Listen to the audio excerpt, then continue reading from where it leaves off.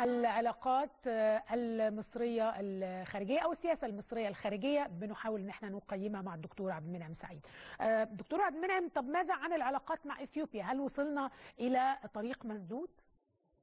ما فيش في أي علاقات دولية طريق مسدود.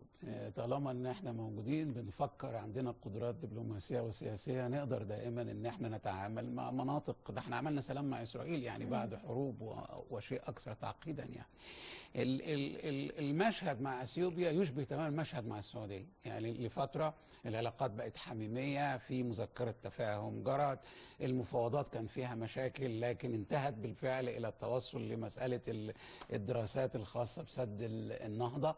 وفجأة خدنا مستثمرين أثيوبيا وجه رئيس وزراء أثيوبيا يحضر أظن المؤتمر الاقتصادي أو. افتتاح قناة السويس. يعني واضح إنه العلاقة يعني بدأت تدخل في مرحلة حميمية بقى في إدراك كبير لدور أفريقيا ودورنا في أفريقيا.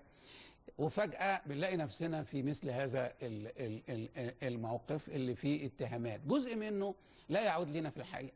يعني الجزء منه إنه إثيوبيا فيها آه طوائف وفيها آه يعني آه جماعات عرقية مختلفة وكانت باستمرار في حالة مشاكل يعني.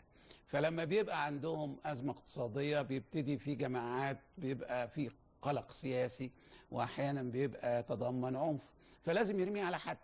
يعني هنا الطرف اللي تقليديا يمكن وضعه في صف الخصوم هو مصر.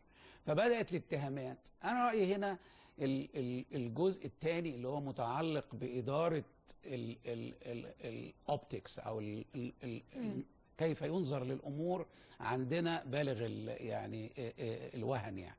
لأنه الحقائق هنا نستطيع أن نقول أدي الجماعات دي كذا أدي الخلافات الموجودة عندكم أدي كذا. إنما تفاجئي بأنه النفي بتاعنا بيبقى شوية مجرد إنه لا نتحمل هذه المسؤولية إن دي أمور داخلية أو نستخدم مجموعة من العبارات اللي أي صحفي في العالم يزهق منها حكاية لا نقبل التدخل في الشؤون الداخلية للدول الأخرى لأننا لا نقبل أحد يتدخل.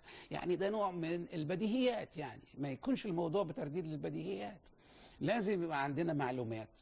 وأيضا هنا يبقى عندنا أجهزة تستطيع إن هي تتواصل مع الجانب الآخر. للأسف لا عندنا أحزاب رغم الناس يقول لك الدبلوماسية الشعبية ويلموا بعض ويروحوا في طيران. طبعا ده كلام كان كان يعني متواضع جدا.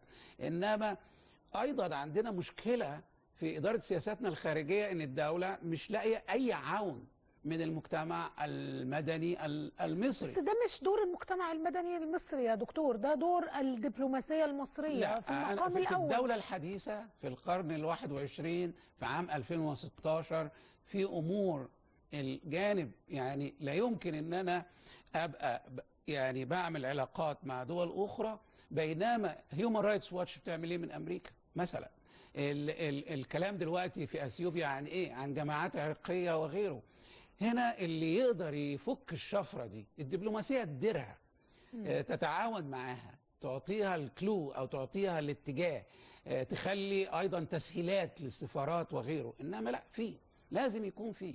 في أمور بالذات ذات الطبيعة الحيوية للأمن القومي المصري لا تستطيع الدبلوماسية المصرية وحدها ولا القيادة السياسية وحدها أن تتحملها. هذه مسألة يتحملها الشعب المصري النخبة السياسية المصرية الأحزاب المصرية البرلمان المصري.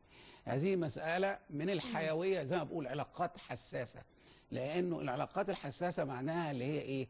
متشعبة داخل فيها عناصر كثيرة جدا. آه النتيجة نتيجة كمان إن تسارع الأحداث بيحصل أحيانا الارتباك اللي إحنا بنتكلم عنه.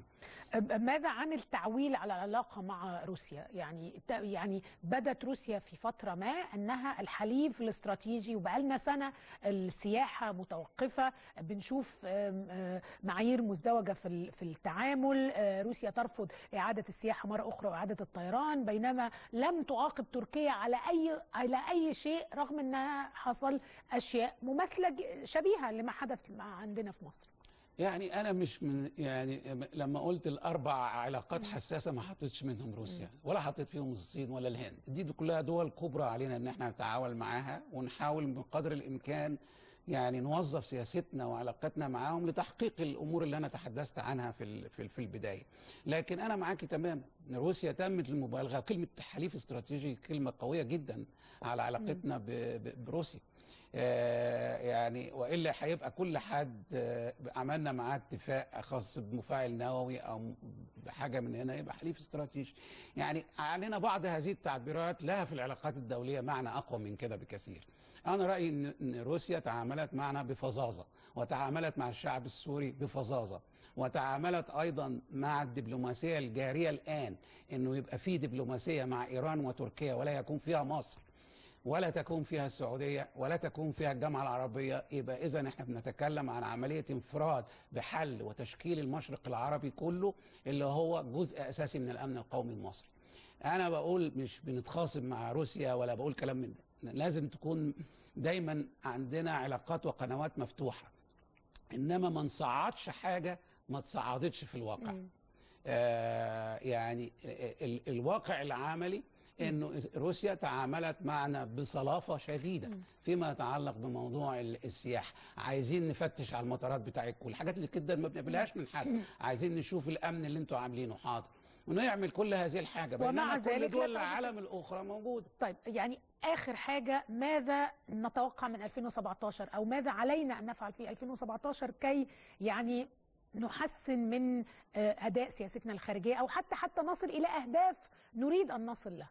واحد نتعلم من ال 2016 مم. نتعلم من 2016 معناها إن إحنا ال ال ال اولا إزاي نخلي طبيعة القرارات اللي بناخدها لها علاقة أساسية بموضوع شرحها.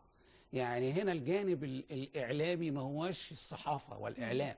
هنا جانب إخبار الرأي العام مش إحنا بس المصري والعالمي أيضا إحنا ليه بناخد هذه الخطوات؟ والأفضل كمان إنه يبقى في أنا رأيي يبقى في خطاب لرئيس ال- الرئيس السيسي يتعلق بالسياسة الخارجية. آدى ال political doctrine العقيدة السياسية بتاعتنا ادي العقيدة العسكرية بتاعتنا ادي الخطوط الحمراء بتاعتنا آدى إيه جوانب التهديد المختلفة اللي إحنا بنواجهها إيه ال- ال- المبادرات اللي إحنا على استعداد إن إحنا نعملها عشان نحقق أهدافنا اللي هي واحد اتنين تلاتة. لازم الكلام ده يكون فيه وضوح آه، آه، كبير. آه، أنا رأيي إنه السيد وزير الخارجية أيضا وهو يعني وزير قدير الس- السفير سامح شكري إنه يعمل بيان قدام مجلس النواب في لجنة العلاقات الخارجية يتحدث فيها عن السياسة الخارجية ال- المصرية وكيف تدار. إحنا عندنا سفراء كتير جدا في كل الوزارات ووزاره الخارجية وفي رئاسه الجمهورية وكلام زي كده ولا يقولوا للناس شيء لما يطلعوا آن الأوان إن إحنا يبقى ده الموضوع ده أورجانيك جزء عضوي. أما ناخد مبادرات في السياسة ال ال ال الخارجية. فالجهاز نفسه وطريقة عمله مهمة جدا. بعد كده القضايا ال- ال- الكبيرة أنا أعتقد بعضها محتاج ريفيو وبعضها محتاج مبادرات جديدة. يعني ال- القضايا بالذات الحساسة دي لازم نتعامل مع التناقضات الموجود فيها. في 30 ثانية آه، آه، فصل جديد من العلاقات آه، آه، واتكلمنا على العلاقة مع ترامب. ماذا يجب أن تفعل مصر كي يستمر هذا الربيع ولا وما يقلبش خريف؟ ال- ال- الطريقة الوحيدة إن إحنا نحاول نفهم ترامب وعن طريق نفهم ترامب نشوف الطاقم بتاعه بيفكر إزاي. وفي نفس الوقت أنا أعتقد نقرر إحنا قد إيه نقدر نمشي معاه في التعاون. وكل ما كان آه، آه، موقفنا واضح وواثق من نفسه هيبقى أفضل. بشكرك شكرا جزيلا دكتور عبد المنعم سعيد آه، الكاتب والمحلل السياسي المعروف ورئيس مجلس إدارة المصري اليوم. وأشكركم أعزائي المشاهدين غدا حلقة كاملة عن حصاد آه، 2016 آه، بخيره وشره بأخباره السعيدة وأخباره آه، الحزينة. آه، بكرة هنتقابل بإذن الله. أشكركم وهذه لميس الحديد هايكم تصبحوا على خير.